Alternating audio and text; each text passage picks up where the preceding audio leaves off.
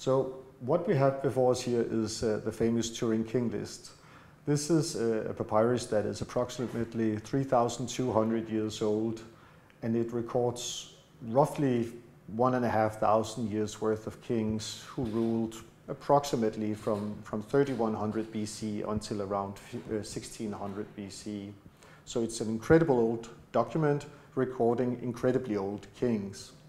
And uh, it goes even further back. Those are the historical kings, but it uh, also includes the mythological rulers of Egypt, so ideally taking us back tens of thousands of years.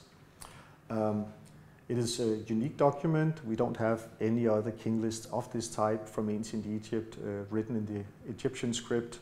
There's one comparable text from uh, the early Hellenistic period, but it doesn't survive on any papyrus, only in uh, medieval manuscripts and, and, and much later um, um, copies. One of the great challenges in working with the king list is that um, it has been reconstructed a number of times. None of the reconstructions are perfect, uh, and that is because of its state of preservation. It consists of uh, a few hundred fragments, um, many of them quite small. Uh, you can actually see a, a, a, few fragments here that certainly belong to the king list. There are also fragments here that we have removed today. They do not belong to the fragments. Uh, they probably come from the site of, of, of Deir el-Medina.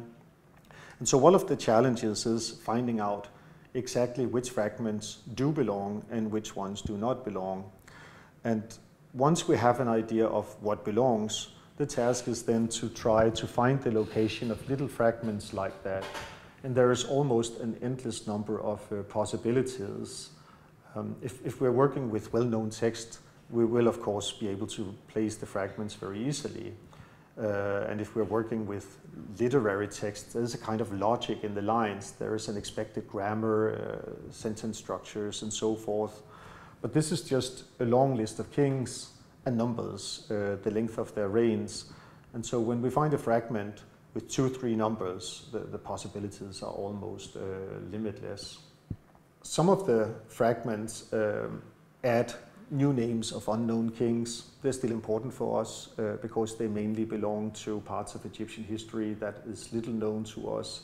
Uh, but we also have fragments that uh, belong to kings that are known, and sometimes they have uh, historical importance. So um, a couple of years ago, I was able to join a fragment of a king of the 13th dynasty, uh, which meant we had to revise the established chronology of the early part of that pyramid and also indirectly redate one of the few pyramids uh, from that era. So we, we also find that kind of um, um, information.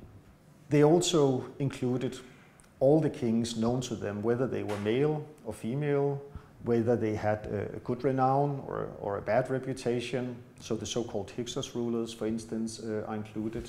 Um, they're down here. This is this, the, the first foreign rulers to uh, occupy Egypt and rule Egypt, um, which is sort of um, societal trauma in, in, later times in Egypt. So they are included. And they also include uh, uh petty kings that rule for very short periods of times. Uh, so an example of of that is, for instance, this king here. He's a king called Sekheperenre, who is unknown to even to most Egyptologists, I feel fairly sure. And he had a reign of zero years, two months, and then he had either one, two, three, or four days. So his entire rule was between 61 and 65 days.